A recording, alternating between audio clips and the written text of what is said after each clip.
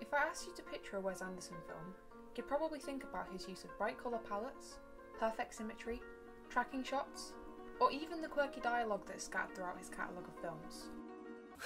Look at your girlfriend stab me in the back with lefty scissors. In this essay film, I want to focus on Anderson's distinct aesthetics, looking closely at his use of framing and colour, as well as examining how Jean Luc Godard has influenced his works by comparing and contrasting the two, asking could Wes Anderson be considered a radical and challenging filmmaker, just as Godard is?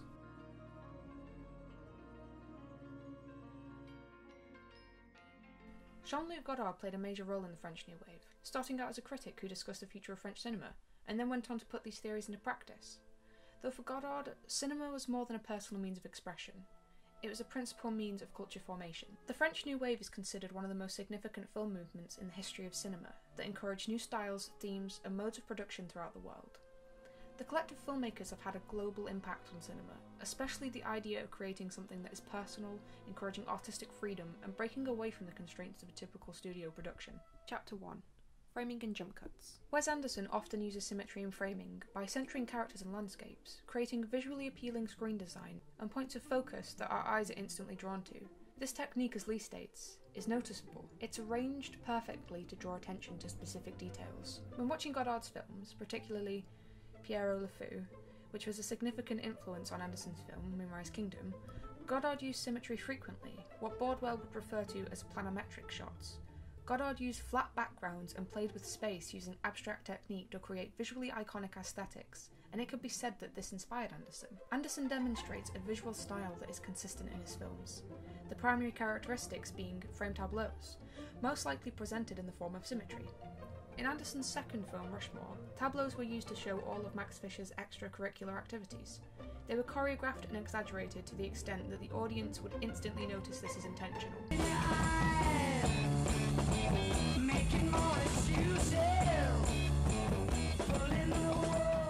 Bordwell highlights Anderson's choices in creating what feels like an artwork. Everything is perfectly placed, using layers to create an interesting image as opposed to just lining the characters up. In doing this, the audience are aware that it's a conscious decision, each and every person has been placed in a way that is obvious to a spectator. Anderson's films often do portray a theatrical aesthetic. For him, it seems more about creating an artwork, favouring artistic design over similar narratives and the overall elements of the story. Though Anderson may have been influenced in some way by Godard's approaches in framing, especially using planimetric shots, they still have their own distinct framing style. Anderson rarely strays from symmetry, and he's adopted it as a focal point in his imagery. But Godard's framing feels very authentic, driven by character, in Breathless, unique framing was used to take on the perspective of Michel looking at Patricia. Allez, quoi, je reste avec toi. De toute façon, j'ai mal à la tête. On sera pas ensemble, mais je voudrais rester à côté de toi. Non, ce n'est pas ça, Michel. One of Godard's most innovative choices in filmmaking was the use of jump cut. Writer David Sterritt states that Godard and his colleagues were fascinated with Hollywood and American popular culture. Godard's Breathless was heavily inspired by 1930s and 40s Hollywood cinema, and he moulded the characters and plot around such. What made Godard so innovative was the choice to break the rules of traditional editing. Editing beforehand was supposed to be fluid and invisible, but Godard's use of jump cut draws attention to the cuts and gives the film a jagged energy.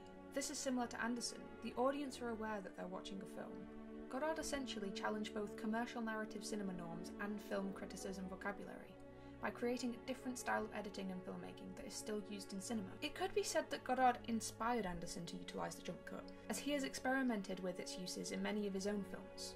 Anderson uses the jump cut for different reasons, as a stylistic choice for comedic timing or creating climactic emotional moments in the passing of time. In doing this, Anderson furthers his distinct style but I wouldn't consider him radical for this, because the jump cut is used frequently, and when Godard did it, it was considered a new mode of editing. Chapter 2 Colour.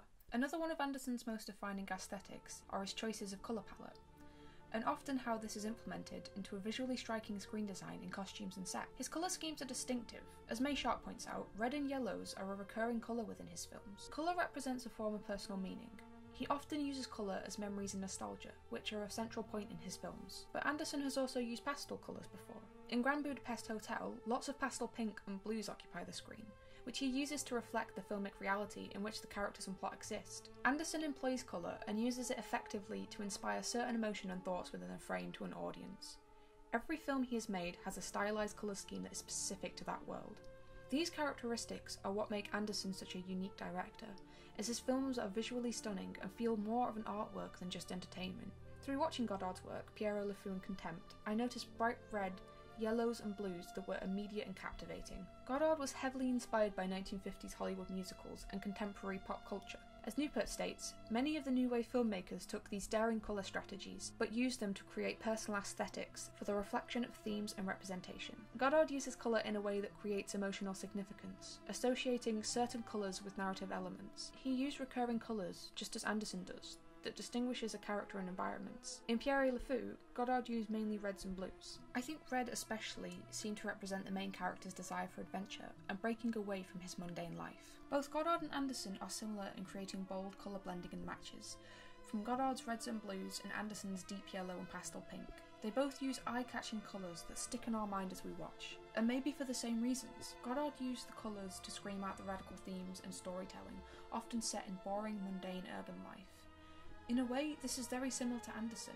In The Royal Tenenbaums, the narrative is really about dysfunctional families, which many can relate to and can be considered mundane urban life, but it's filled with colour, clothing in reds and deep brown.